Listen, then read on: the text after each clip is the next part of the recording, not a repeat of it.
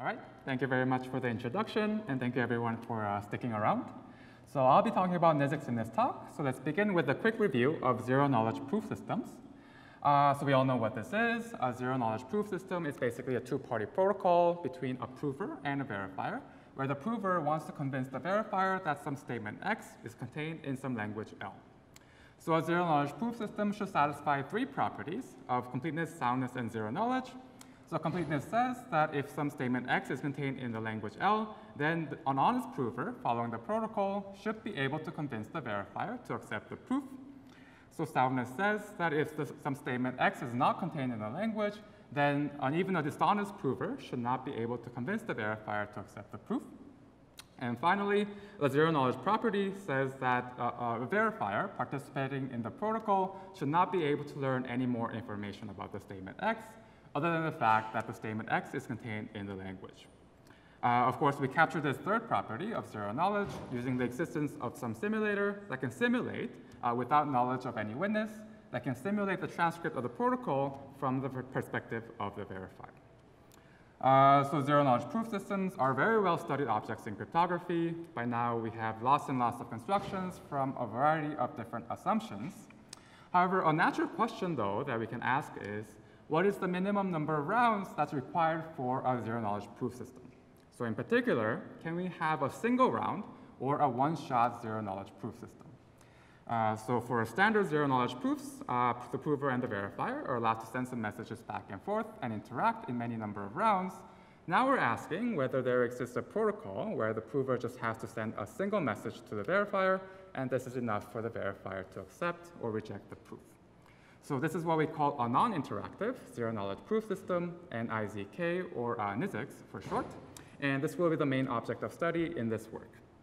So what do we know about NIZKs? Do we know that they even exist? Well, it turns out that uh, in the standard model, or uh, in the plain model, uh, we can only hope to achieve NIZKs for very easy classes of languages. And this is because the two properties of soundness and zero knowledge implies an efficient decision algorithm for the underlying language. So at least in the standard model, we can't really hope to construct NIZKs for any interesting classes of languages. So what we generally do is work in weaker security models. Right, so a very popular model that we generally consider is the random oracle model. And in fact, in this model, we know of many nice uh, techniques for constructing NIZKs from a variety of different assumptions. Uh, however, in this work, uh, we'll focus on constructing NIZKs without relying on random oracles. So in this case, the gold standard is to work in the common reference string model or the CRS model. Uh, in this work, uh, we'll actually uh, focus on a third model called the pre-processing model, which can be seen, uh, which can in fact be seen as a generalization or a relaxation of the standard CRS model. Uh, but since the ultimate goal of constructing NIZKs is to work in the CRS model, let's first uh, discuss the CRS model all right, so uh, what is the CRS model? Uh, well, we're going to have the exact same setting as before. We're going to have a prover and we're going to have a verifier who wants to interact in some uh, protocol. Uh, but before the protocol starts, we're going to have some trusted authority that generates some common string to provide to both the prover and the verifier. And this common string, uh, we call this string uh, the common reference string, or the CRS. And the requirement is that the CRS be independent of any statement to be proved in any future protocols. So once the prover and the verifier has access to the CRS, then they can participate in any unbounded number of NIZKs protocols, uh, just as before. All right, so this is basically the model. Uh, so what do we know about constructions in the CRS model? So can we actually construct NIZKs for all of NP uh, in the CRS model? Uh, so in fact, in the literature, there are a number of ways, uh, well, there are a number of ways that we know how to construct NIZKs in the CRS model from uh, a number of different assumptions uh, that I listed uh, here in the slides. Uh, but if we actually look at this list carefully, then, then, a then, an immediate class of assumptions that we notice that's missing from this list turns out to be the, the, the, lattice, the class of lattice assumptions. So standard lattice assumptions like SIS and LWE. We still don't know how to construct NIZKs in the CRS model for all of NP from assumptions like SIS or LWE. So we do know how to construct NIZKs for some specific classes of languages, However, constructing it, the general problem of constructing NIZKs for all of NP remains an open problem today. So, uh, so this is actually a, a, bit surprising just given how much we can already achieve uh, from LWE in, uh, in other areas of crypto outside of proof systems. Uh, but just the algebraic properties that's required for constructing NIZKs from, uh, uh, from all these other assumptions uh, does not seem to exist in the lattice world. So in fact, uh, this problem has been open for quite a while, despite uh, many attempts by us, by the crypto community, and in fact, it's considered one of the major open problems in cryptography today. So in this work, uh, we make progress in this problem by, cons by uh, considering a weaker model by constructing NIZKs in a, a relaxed model called the pre-processing model. So let's see what this pre-processing model is. So uh, recall that in the CRS model, we allow a trusted authority to generate some common string to provide to both the prover and the verifier. In the pre-processing model, we're going to relax this requirement and allow the trusted authority to generate two different strings, to, one to provide to the prover and one to provide to the verifier.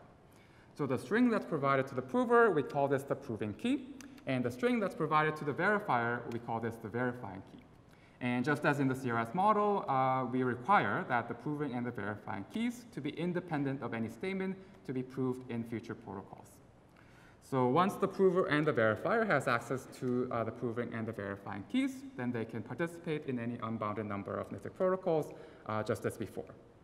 So in this model, uh, soundness is achieved assuming that the verifying key is uh, hidden to the prover, and analogously, zero knowledge property is uh, achieved, assuming that the proven key is hidden to the verifier. So if we were to actually implement uh, NIZK in the pre-processing model, then we would generally just replace the trusted authority with some interactive protocol between the prover and the verifier to generate the proving and the verifying keys. And we call this uh, the setup phase, uh, the, the pre-processing phase, and hence the name the pre-processing model.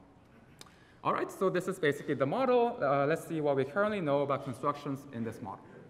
So in the literature, uh, there are actually constructions of pre-processing NIZKs from uh, very weak assumptions like one-way functions or oblivious transfers. However, all these constructions work in the single theorem setting where they only provide either bounded theorem soundness or bounded theorem zero knowledge. So bounded theorem soundness says that soundness holds only for an a priori bounded number of proofs, so if the prover gets to observe the behavior of the verifier for an a priori unbounded number of proofs, then uh, it can cook up some uh, valid proof for an untrue statement and violate soundness. So analogously, bounded theorem zero knowledge uh, says that zero knowledge holds only for an a priori bounded number of proofs. So if the verifier gets to observe an a priori unbounded number of proofs, then at some point it's going to be able to learn some information about the prover's witness. So this is, of course, not ideal. Uh, we want a, a, construction where the prover and the verifier just has to run this pre-processing step once, and this is enough for them to, uh, to run any a priori unbounded number of uh, NIZK protocols, and this is what's called the multi-theorem setting for pre-processing NIZKs. And this is the model that we consider in this work. So in fact, uh, today, the only known constructions that we know of for multi-theorem pre-processing NIZKs are actually the constructions that are in the CRS model. So since we do not know how to construct NIZKs uh, from, from, standard lattice assumptions in the CRS model, uh, we can naturally ask, can we actually realize multi-theorem pre-processing NIZKs from standard lattice assumptions? And the hope is that uh, constructing pre-processing NIZKs from standard lattice assumptions can be used as a stepping stone towards constructing NIZKs in the CRS model uh, from standard lattice assumptions. So this is basically the motivation. So let me just summarize what we achieved in this work. So number one, uh, we basically construct NIZKs for all of NP in this pre-processing model from LWE.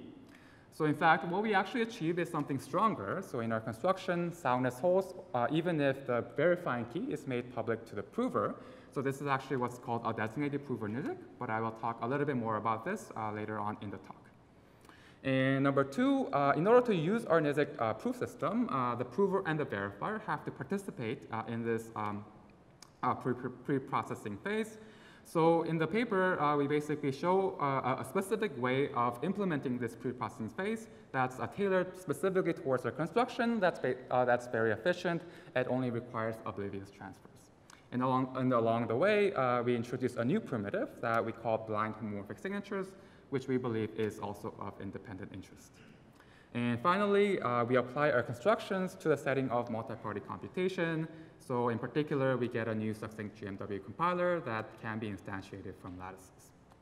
So in this talk, I'll focus mainly on our uh, NIZK construction, and I will refer to our paper for the rest of the details on blind homomorphic signatures uh, and applications to MPC. All right? So, uh, all right, so let's basically, uh, let's discuss our construction. So how do we go about constructing NIZKs uh, in the pre-processing model from LWE? So a main tool that we're uh, going to use is uh, what's called homomorphic signatures.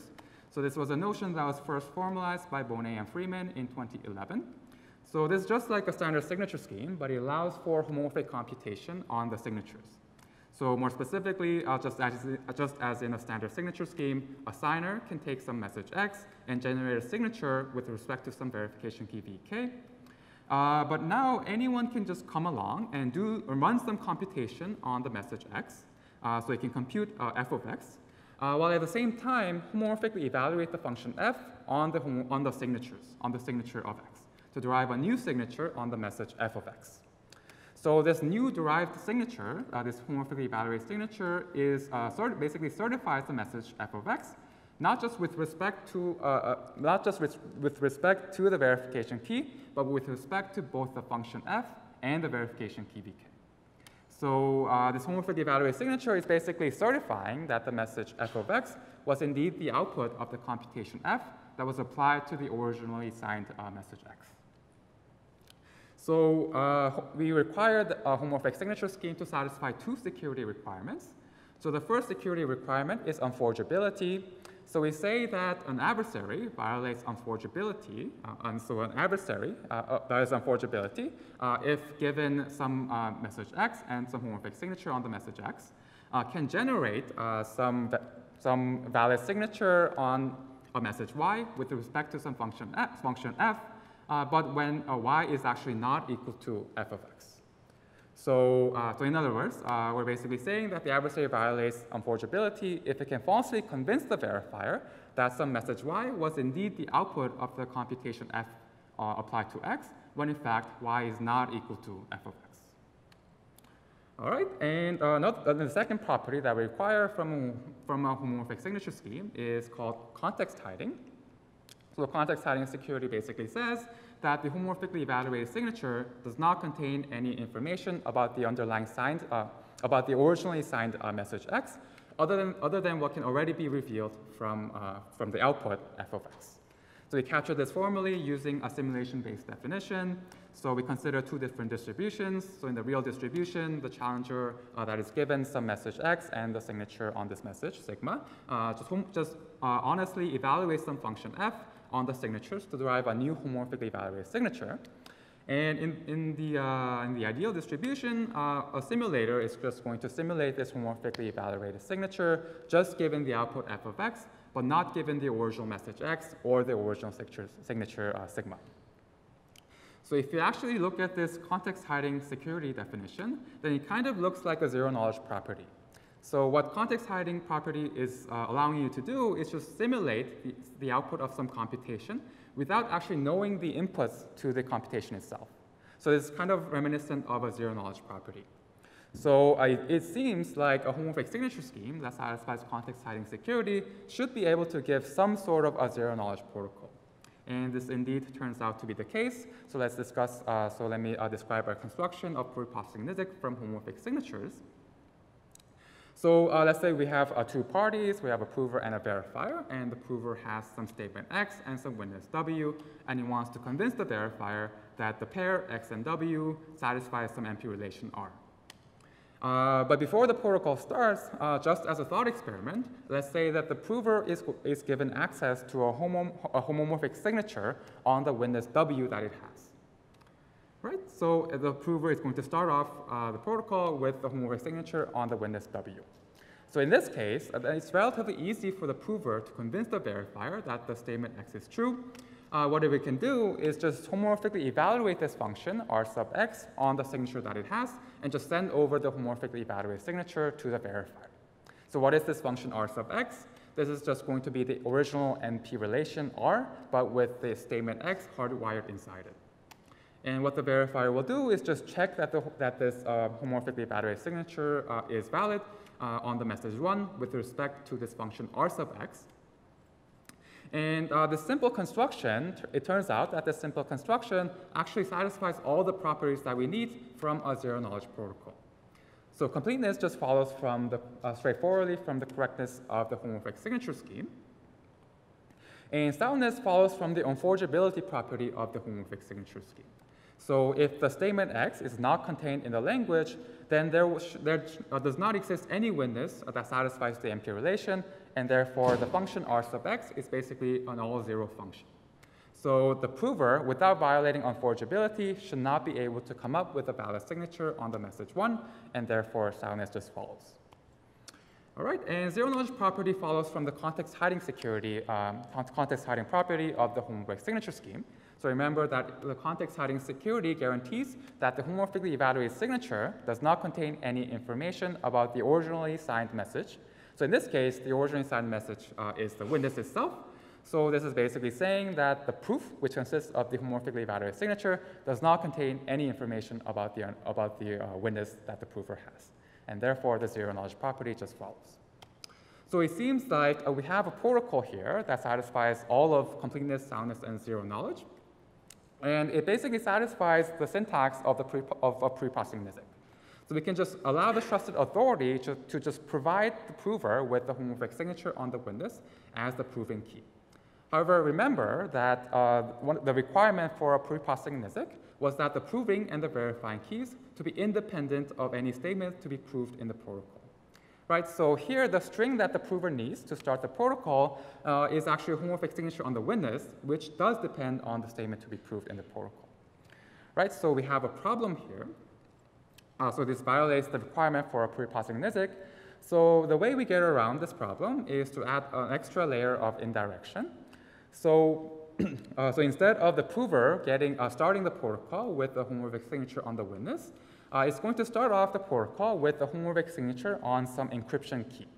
So we're basically going to fix some encryption key uh, for the protocol, uh, fix some encryption scheme for the protocol, and the prover is going to be given a, a homomorphic signature on the encryption key. Now, how does the prover convince the verifier? Uh, what it will do is first encrypt the witness that it has using the encryption key and send over the ciphertext to the verifier.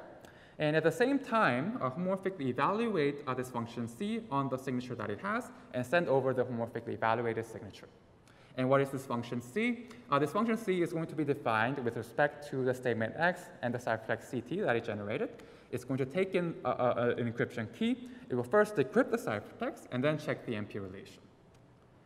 And, uh, and, the, and, just as before, the verifier is basically going to check that the homomorphic uh, signature is valid on the message one with respect to the function uh, C. And in fact, uh, we can actually use the exact same argument as before to prove completeness, soundness, and zero knowledge. So completeness just follows from the correctness of the homomorphic signatures again, and the correctness of the encryption scheme. And, oops, and soundness basically uh, follows from, uh, again, from the unforgeability property of the homomorphic signature scheme. So we, uh, just like before, we argue that the function C, so if the x is not contained in the language, we argue that the function C is basically a null zero string, so the prover cannot violate soundness without violating unforgeability. And, uh, and, zero knowledge property also follows very similarly as before. Uh, it follows from context hiding security of the homomorphic signature scheme and semantic security. We first, uh, we, we, first argue that the homomorphic signature uh, does not reveal any information about the, um, about the encryption key, and then we just resort to semantic security to prove that the witness is hidden. All right, so we now basically have a protocol that satisfies completeness, soundness, and zero knowledge, and the, and the string that's required by the prover is also independent of the statement to be proved in the protocol.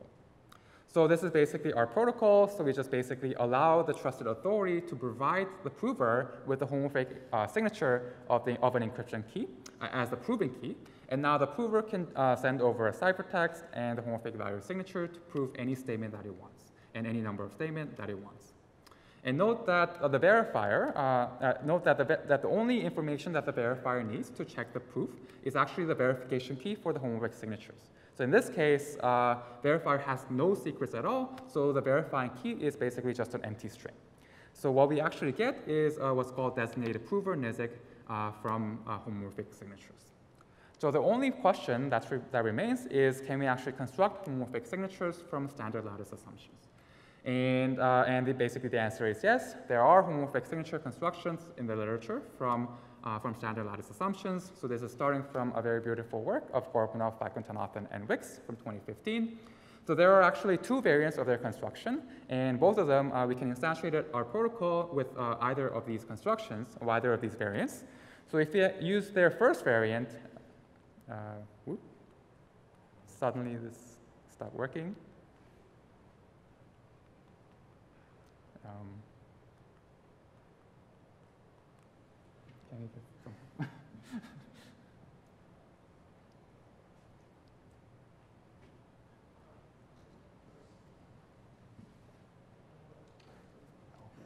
battery, yeah. Did I click something?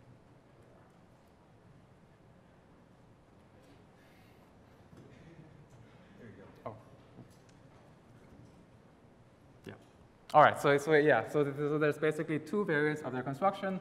So if we use their first variant, then what we get is, an, is a pre-processing argument from the assumption SIS, short integer solutions. And if we use uh, their second variant, then what, uh, this is often called homomorphic commitments, then we actually get a NIZK proofs uh, from LWE. All right, and that's basically it. That's basically how we get uh, NIZKs uh, from standard lattice assumptions. So let me just uh, quickly summarize. So, uh, so yeah, so we basically get new multi-theorem designated proof for from homomorphic signatures that can be based on either SIS or LWE.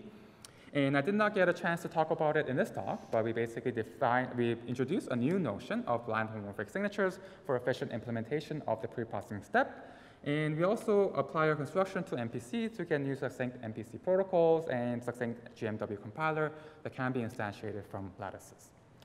And uh, let me just finish off with open problems. So, so um, yes, so uh, yeah, the obvious open problem here, of course, is constructing NIZKs from lattices in the CRS model. So the reason why our construction doesn't work is because uh, if, the proof, if the proving key um, becomes public, then it contains the encryption key uh, that was used to encrypt the ciphertext. So anyone uh, can, uh, given the encryption key, can just decrypt the message and just read off the witness, and therefore, um, the, therefore we don't get zero knowledge property. Another really nice open problem is to actually get multi-theorem pre-processing NIZKs from other assumptions, so assumptions like DDH. So, uh, so for this, actually, uh, we don't, so, so if you actually don't want a designated prover NIZK, uh, but if you just want pre-processing NIZK, NIZK, then uh, a weaker notion called homomorphic MACs actually suffices. And, I, and I'm aware that some groups are actually already working on this, so which is great because I think this is a very, very nice open problem. All right, and with that, let me finish. Thank you very much.